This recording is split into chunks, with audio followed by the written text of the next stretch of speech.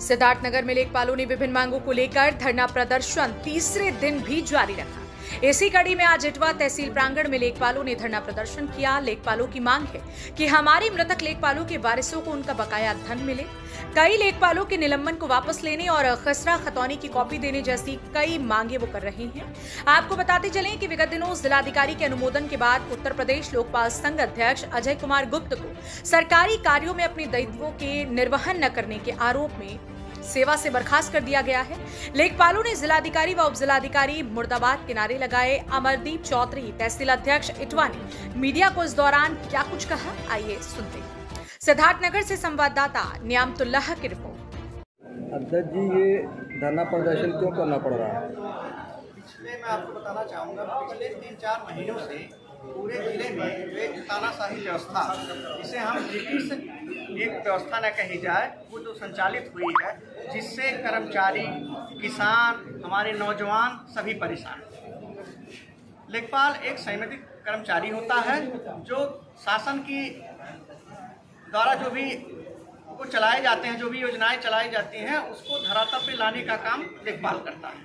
हम, आप देख रहे होंगे, हमारा आज इस तहसील स्तरीय तीसरे दिन का धरना शुरू हुआ है, चल रहा है। कई चीज़ें ऐसी हैं जिसके संबंध में प्रशासन के पास जवाब नहीं है। हम प्रशासन से अगर जो अपने किसानों की मांग करते हैं कि जिन किसानों का बाढ़ के द्वारा फ़सल नुकसान हो गया, अगर उनको क्षतिपूर्ति नहीं मिला है, उनकी बात हम कर रहे हैं। किसान जो जिनको पट्टा मिला हुआ है, विगत तीस तीस, चालीस चालीस सालों से जिनको पट्टा मिला हुआ है, वो संक्रमणित भूमिधन नहीं हो पा रहे हैं। उनके बारे में हम आवाज़ उठा रहे हैं। हम कर्मचारी हैं तो हमारे दायित्व के साथ हमारे कुछ अधिकार भी हैं। उन अधिकारों की मांग हम करते हैं, जैसे हमारे बहुत से साथी सेवा में ही मृतक हो गए।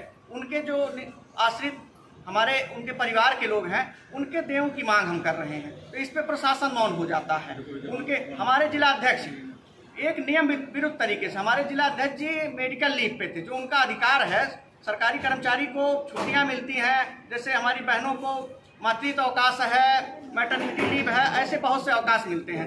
अगर जो हम उनका यूज़ अपने परिवार के लिए करना चाहते हैं हमारे जिला अध्यक्ष जी मेडिकल लीव पे चल रहे थे। बैठक कब तक चलता बैठक जब तक ये जिलाधिकारी महोदय जो तानाशाही रवैया अपनाए हुए हैं विभिन्न तहसीलों में, पाँचों तहसीलों में जो रवैया रवैया है एस महोदय लोगों का, जब तक इन लोगों का ट्रांसफ़र नहीं हो जाता है, हमारे किसानों का, हमारे साथियों का, हमारे संवर्ग का, जो भी हमारी जायज़ मांगे हैं, वो पूरी नहीं हो जाती, तब तक ये धरना अनवरत चलता रहेगा।